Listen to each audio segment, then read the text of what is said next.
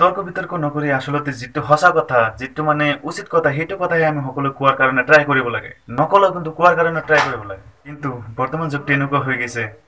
কোনে কাৰ বিৰোধিতা কৰিব পাৰে কোনে কাৰ কাৰণে গাত খান্দিব পাৰে বিপদত পেলোৱাৰ কাৰণে কোনে কাৰ কাৰণে কি বদনাম কৰিব পাৰে কোনে কোন ধৰ্মক লৈ কি কৰিব পাৰে কোনে কোন ধৰ্মক গালি দিব পাৰে এইটো দানাতে মানুহ থাকে। সকলোৱে জানে সত্যৰঞ্জন বৰাই কেইদিন আগত গ্ৰন্থ এখন লিখিছিলে। তাৰপিছত আৰু ক'লে যে ইছলাম ধৰ্মত নাৰীৰ মৰ্যাদা নাই নাৰীক মৌলবাদীসকলে নাৰীক ভোগ ভোগহে কৰে আৰে ভাই নিজ ধৰ্মত কি হৈ আছে নাৰীৰ সেইটোহে আগত কথা। নিজ ধৰ্মত আগত কি হৈছে এইটোহে আগত মানে ক'ব লাগে সেইটোৰ বিৰোধিতাহে আগত কৰিব লাগে। তো মই আজি কেইটামান কথা কম আপোনালোকে অলপ ভালদৰে শুনক। ইছলাম ধৰ্মত যে নাৰীৰ মৰ্যাদা কিমান দূৰ আছে সেইটো মই আজি প্ৰমাণ কৰি দিম। তো প্ৰমাণ কৰিম মানে কেইটামান কথা আপোনালোকক কম আচলতে।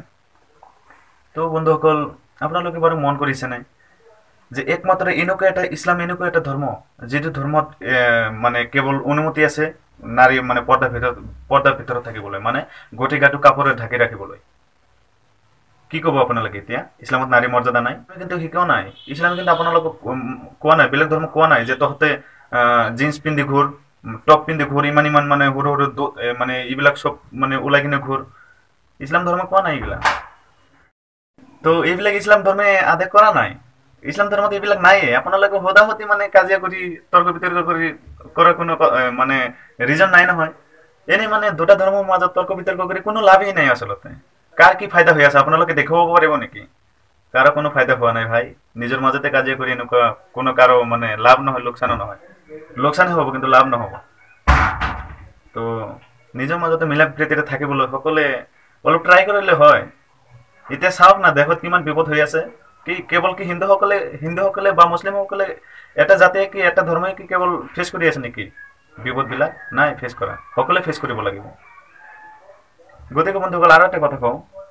নবী নবী কৰিম চাল্লাহ চালামৰ জীৱনত মানে সেইটো জামানাত যেতিয়া মানে যুদ্ধ বিগ্ৰহ হৈছিল সেইটো সময়ত নবী কৰিম চাল্লাহ চালামে কি কৈছিল জানেনে? যুদ্ধ কৰাৰ সময়ত।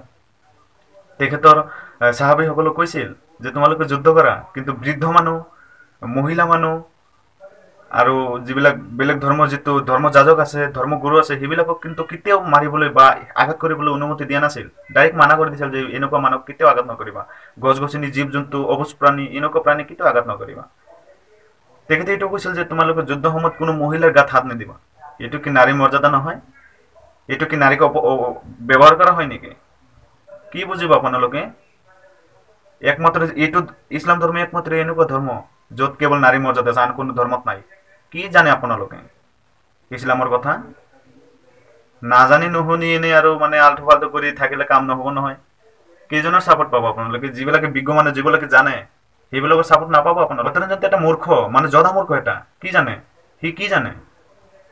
মই নাজানো। মই মই মানে মই একো নাজানো। কিন্তু তাতকৈ অন্তত জ্ঞান বোলা বিবেক বোলা বস্তুটো অন্তত ডাবল আছে মোৰ। ৰঞ্জন বৰা এনেকুৱা এটা লিখক যিয়ে মানে ধৰ্মৰ ওপৰতহে গ্ৰন্থ লাগে মানে কোনো মানে টপিক নাপায় নহয়। আৰে বহুত ডাঙৰ ডাঙৰ বিজ্ঞানী আছে বহুত ডাঙৰ ডাঙৰ ধৰ্ম যাজক আছে যিবিলাকে ইছলাম ধৰ্মক শ্ৰদ্ধা কৰি চলে সন্মান কৰি চলে আৰু সত্যৰঞ্জন বৰাই কি কৰি চলে। মানে কেইদিনৰ কি আৰে ভাই মানিছো ইছলাম ধৰ্মত নাৰী মৰ্যাদা নাই। কিন্তু মই এটা মানে আহ্বান জানো আপোনালোকক বা যিবিলাকে এনেকুৱা কথা কৈ থাকে এইবিলাকে যিবিলাকে এনেকুৱা কথাত সমৰ্থন কৰে। তো মহানগৰীবোৰত বা যিবিলাক মানে ডাঙৰ ডাঙৰ চহৰ নগৰ হয় আৰু সেইবিলাকত যিবিলাক মানে ইউনিচেক্স পাৰ্লাৰ আছে নাৰী মৰ্যাদা যদি ইমানে দিয়ে সেইবিলাকৰ পৰা যিবিলাক মহিলা কৰ্মচাৰী আছে সেইবিলাকক আঁতৰাই দিয়ক না যদি পাৰে। সেইবিলাকক আঁতৰাই দিয়ক। ইমান যদি নাৰী মৰ্যাদা বুজি পায় আপোনালোকে তেন্তে সেইবিলাকক আঁতৰাই দিয়ক ন। তো এনেকুৱা বিতৰ্ক বিতৰ্ক কৰি দুটা ধৰ্মৰ মাজত এনেকে কণ্ট্ৰল লগাই আপোনালোকে কি পাব শেষত? জাহান নাম দুযোগ খানা এইবিলাকহে পাব? মানুহৰ ঘৰত দুৰ্নাম পাব মানুহৰ ঘাত প্ৰতিঘাত সহিব লাগিব আপোনালোকৰ। সময় আহিব নহয়। তো আজিলৈ ইমানে বন্ধুসকল যদি ভিডিঅ'টো ভালো লাগিল তেন্তে লাইক এটা কৰি দিব আৰু ভিডিঅ'বিলাক শ্বেয়াৰ কৰি দিব আৰু চেনেলটোত নতুন হ'লে ছাবস্ক্ৰাইব কৰিব। ধন্যবাদ। খুদা হাফিজ, আল্লাহ হাফিজ।